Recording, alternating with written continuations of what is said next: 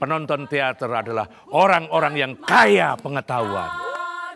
Dia menyebarkan aroma ketakutan dan rakyat ini selalu saja disalahkan. Teater koma naik ketika suksesi ini dilarang, iya, Saya- akhirnya dilarang. Kalau saya tidak pulang ke tim berarti saya ditahan gitu kan. keluar panggung, masuk panggung, ganti baju, sekian second mesti ini. Jadi itu benar-benar pelajaran buat saya. Mata Najwa, panggung teater koma, Rabu 11 November jam 8 malam.